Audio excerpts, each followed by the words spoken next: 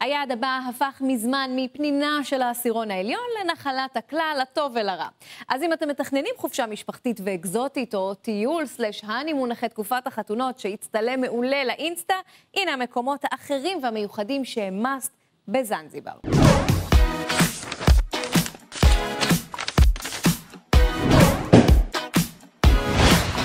אחרי שנחתנו באחד האיים הכי יפים של טנזניה, בואו נאמר שלום לאלון חובב מזנזיבר, מה העניינים? אהלן, מצוין.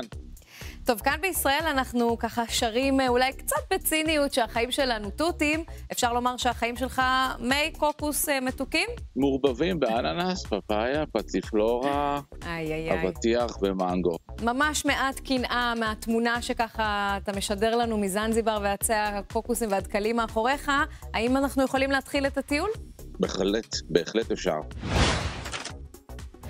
בואו נתחיל עם חוויה שתתאים לכולם, משפחות, זוגות, צעירים, משהו שמספיק ככה ליום טיול שלם. האם יש דבר כזה, אלון? לאי הקטן הזה ששתים אליו מזנזיבר לבילוי יומי, קוראים ניאממבה.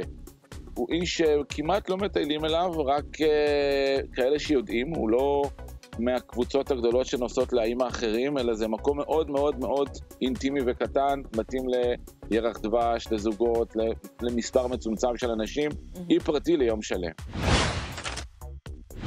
אלון, איך הקפה בזנזיבר? יש תרבות אה, של קפה לפחות כמו בארץ, שאפשר ככה לפתוח איתו את הבוקר? אבל יש מקום אחד, פינה אחת בעיר סטון טאון העתיקה של בזנזיבר, של בית קפה שהוא בבעלות של חוואים שמגדלים קפה בטנזניה, בהרים, ואת הפולי קפה שלהם הם קולים ועושים את הקפה בעצמם, וזה בית קפה נהדר שקוראים לו Zanzibar Coffee House, פינה מאוד מיוחדת עם קפה מאוד איכותי, כמעט היחידי בזנזיבר.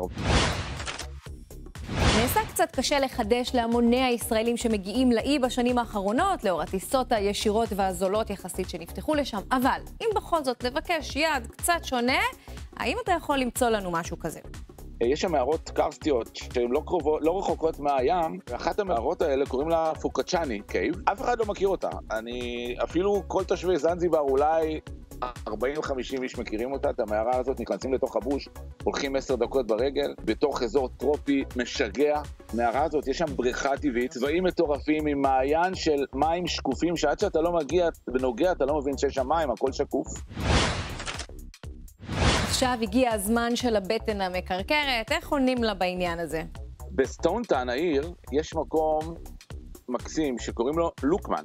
לוקמן היא מסעדה של מאכלים טנזנים מקומיים וזנזיברים, של מאכלי ים, ואורז מכל מיני סוגים, ובננה עמילנית, ואוכל נהדר מקומי ששווה לבוא ולטעום אה, במחירים מצחיקים.